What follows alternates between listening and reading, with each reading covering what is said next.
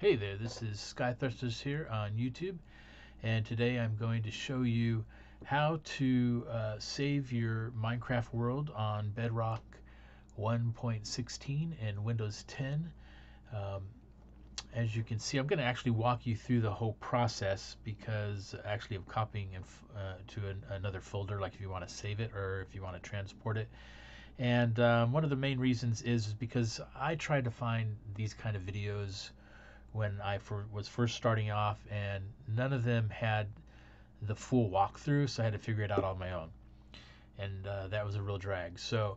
Um, one thing you, you're going to have either your computer name folder, depending on how your computer's set up, uh, that is a user folder there, or you might have your this PC on your computer, or you may have to go into your start folder or another way to actually get to your files. But either way, well, we're going to use, we're going to start off using just the, this PC.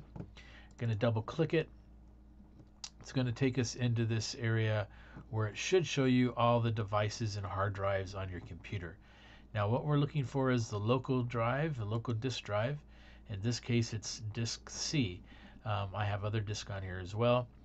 Um, and your disk may be something other than local disk C. It just depends on how it's set up. So we're going to click on local disk C. That's going to take us into the main area of your computer. And we're actually looking for this here, users, down at the bottom. We're going to double click that. Now once we're in here, we have this folder which is air and it matches uh, the name of this computer which is air pollution and just minus the pollution. So we'll double click on that and it's going to take us to this area. This is your user area. In this case, this is our user area. But on your computer, this is your user area.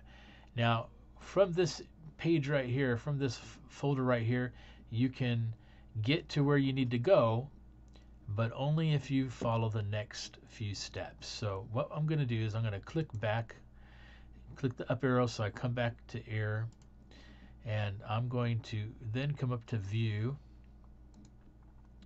And we're going to go over to options. And then we're going to change folder and search options. It's going to bring up folder options. Then we're going to go to view. And inside of view you have file folders and blah blah blah. This is the file folders section. We're going to change it from don't show hidden files folders or drives to show hidden files, folders, and drives because this, this is the important step that all the other videos I watch didn't uh, include. So we'll click apply. We'll click OK. Now we're going to click on the air folder again. And you still see it looks the same. We're going to click all the way out.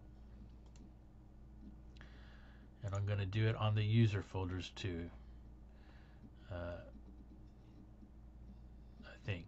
Maybe I'm not. Maybe it's already in there. No, it's not. Okay. So it didn't take it yet. So we'll try it again. Because what we need to do is get this folder to show us. See, it went and defaulted back. So we'll show hidden files. Now I could do apply to all folders if I wanted to. I don't have a problem with that. You may not want to do that. We're going to click, we'll just click OK this time and see if it did it for us. Okay, it's the default. So now users is showing a hidden folder default and air is showing us this hidden folder. This hidden folder inside of uh, your user profile is app data. And this is kind of where a lot of the magic of Windows 10 uh, works as far as like programs go. So we're going to double click that. And the only way to get that is to get it to show. And we're going to go into local. Going to scroll down here to packages. Right there, packages. Now, this is where all the programs are hosting their data, or at least some of them. You're going to want to scroll down till you find Minecraft, uh, Microsoft Minecraft. I probably went too, yep, I already went too low. Here it is, Microsoft Minecraft UWP or whatever. Uh, we'll open that.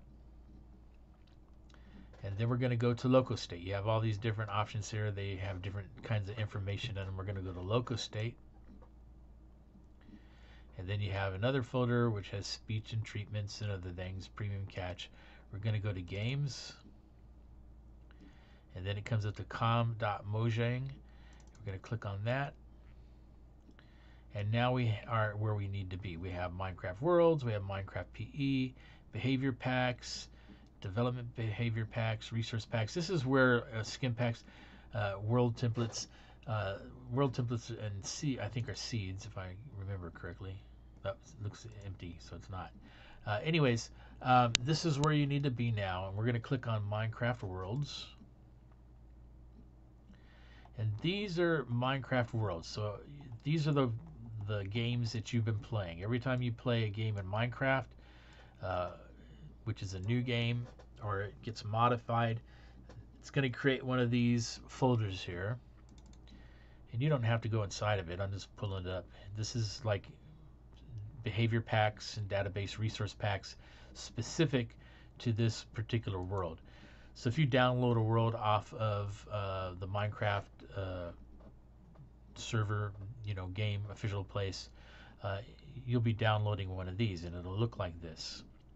In this case, uh, for Washington Has Fallen, we have over 400 of these uh, folders because we're actually developing an adventure game. Um, but that's besides the point. So over here on the right, I'm going to create a new folder. And I'll just call it, um, for the sake of this video, Minecraft backups. So if you want to like save your game before you start playing it, in case you screw something up, you could create a Minecraft backup folder. You can store this wherever you want, another hard drive or, or whatever else, and we're done. So, like I said, each of these is a different game, and uh, you know, depending on what you're doing, uh, you may want to save all of them. You might want to just save one of them. In this case, we're just going to do one. So we're going to right click on the one I want to save. But before I do that, let me just say that. Let me just say this. If you want to collect, select more, hold your left uh, mouse button down and drag. And there you go. You can, those are all ready to go. But in this case, we're just going to do one. So I'm going to select one. I'm going to right click on it. Let me get it selected. There we go. I'm going to right click on it Go down to copy. Now we're done. We're going to come over here to this new Minecraft backup folder, open it up, click inside of the folder, empty folder, just so it's making sure that folder is selected, and then we're going to right click again and click paste. There is that copy of that game.